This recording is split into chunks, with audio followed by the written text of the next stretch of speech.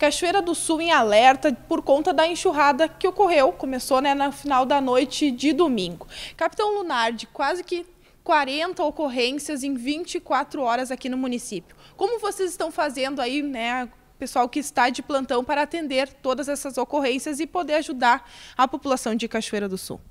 Bom, nós nos dividimos em duas equipes né, que estão rodando o município, atendendo as ocorrências conforme as demandas vêm chegando a, a nós. É importante salientar que as maiores ocorrências são de inundação, as pessoas têm as suas casas inundadas, muitas delas às vezes só querem fazer o registro da ocorrência, porque a gente sabe que em sendo uma enxurrada muito rápida, ela acaba entrando nas casas a água e rapidamente sai. Então a gente espera que isso que baixe os níveis da água logo para que a gente consiga diminuir e atender as ocorrências agora só na parte de registro. A gente está registrando muitas ocorrências e também a gente está atendendo a questão de corte de árvores. Algumas árvores caíram tanto nas, na rodovia como na cidade, que o pessoal também colocando em risco as pessoas, a gente está retirando. E a questão da inundação, que é o que pegou principalmente em virtude da grande quantidade de chuvas em curto espaço de tempo, acabou alagando bairros e áreas que normalmente não são afetadas por este tipo de ocorrência. Para a Defesa Civil, esse momento é um momento delicado, onde a gente atende as pessoas uh, num momento bem difícil, que é, na, aqui no caso, estão embaixo d'água. A água subiu, né, elevou, é, decorrente do arroio, né, transbordou, a gente classifica como uma, inundação, um alagamento nas casas. Aqui vocês podem ver mesmo que a gente tem uh, tá numa área de risco, né, identificado como áreas de risco, né, pelo Serviço Geológico do Brasil. E essas casas estão no local, não deveriam estar aqui, elas estão muito próximo da sanga, né?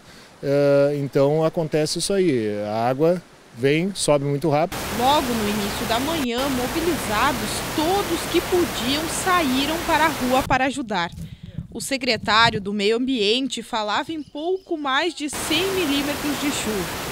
Dados do IRGA apontam que a enxurrada acabou acumulando 210 milímetros, realmente muita chuva. A situação é de muito serviço, bastante prejuízo dos moradores, né? Uh, a gente tem informação que já foram mais de 125 milímetros, nós estamos desde a da madrugada já trabalhando. Isso é um trabalho que tanto a Secretaria de Obras quanto o Meio Ambiente já vinham fazendo da desobstrução da, da rede pluvial que não está dando vencimento né, dessa chuva. Nós temos uma cidade que tem muitas sangas, é aquele trabalho que a gente insiste, que é de não colocar o lixo na sanga. Né? Então hoje mesmo está sendo feita a desobstrução, recolhimento de lixos, entulhos que ficam. Esse momento deve ser de reflexão, direcionar nossos olhos para o que de imediato cada um pode fazer para evitar situações como a de ontem. Talvez guardar o papel da bala no bolso e jogá-la no lixo seja o primeiro passo. A gente está pedindo que o pessoal uh, tenha precaução, né, evite estar em contato com as, com as áreas alagadas da residência. Né, tem a questão das doenças, da própria leptospirose, que a gente já, já teve um caso no município de Cachoeira do Sul, agora recentemente, e evitar estar em contato, desligar a luz, cuidar essa questão da rede elétrica, cuidar uh, o acesso a áreas alagadiças, a áreas que estejam aí o risco de, de desmoronamento. A gente sabe que, principalmente a questão do leptospirose, já foi comentado, né? É, alguns animais que transmitem, né? Principalmente o rato. E isso é onde tem lixo. E a gente sabe que agora com as águas inundando a questão do lixo e as bocas de lobo e os locais de baixa, onde estão terreno baixo, onde tem uma vazão muito grande de água, acaba tendo a possibilidade de contaminação. Então a gente orienta as pessoas também que puderem, se vai movimentar alguma coisa dentro de casa ou se locomover, é, estar com os pés cobertos, né? usar luvas, luva de procedimento, enfim, alguma luva para não ter o contato direto com a água ou algum, em algum local, para evitar ter um risco ele ter uma doença nesse momento que é, é propício. Então, muita atenção contra esse quesito. Aí. Os funcionários da Secretaria de Obras mudaram de serviço sensibilizados ajudaram na remoção das famílias atingidas. É tristeza de ver a situação. Ah, desde as 5 e meia da manhã a gente já recebeu chamadas de pessoas com alagamento de casa, o que dá para resumir a tristeza porque assim a cidade toda foi atingida. É algo que fugiu e ninguém imaginava, a gente imaginava 50, 60 milímetros para hoje, mas já deu mais de 100, né? até as últimas horas a gente já tinha previsão de 100 milímetros.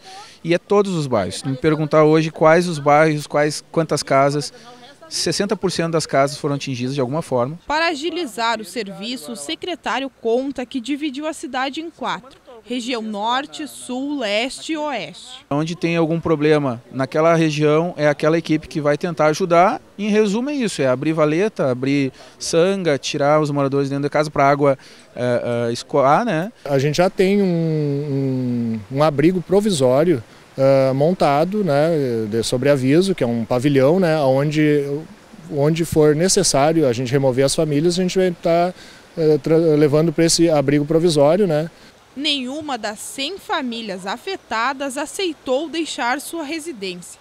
Agora, todos querem mesmo que o tempo melhore, o sol volte a brilhar e todas as roupas, calçados, móveis, eletrodomésticos possam ser limpos. As pessoas têm o receio de abandonar sua casa né, e ser saqueado. Né? Mas a gente orienta as pessoas que fiquem alertas que caso os níveis de água subam mais, né, contatar tanto o Corpo de Bombeiros num caso emergencial como a Defesa Civil para questões de é, localização e, e local para onde ser movimentadas. Vocês estão indo até o local, estão auxiliando, mas é preciso também que as pessoas entendam que é todo o município que está aí precisando de vocês nesse momento. É, com certeza. Nós estamos com duas equipes né, mobilizadas para o atendimento e a gente sabe que muitas vezes o pessoal está pedindo e alguns casos estão sendo somente para o registro. Então, esses que estão sobre o registro estão aguardando. A gente coloca numa fila de espera e está atendendo somente aquelas pessoas agora que necessitam é, realmente do serviço emergencial. Segundo a assessoria de imprensa do município, não está entre os planos decretar situação de emergência, porque os valores das perdas materiais ficam abaixo do necessário.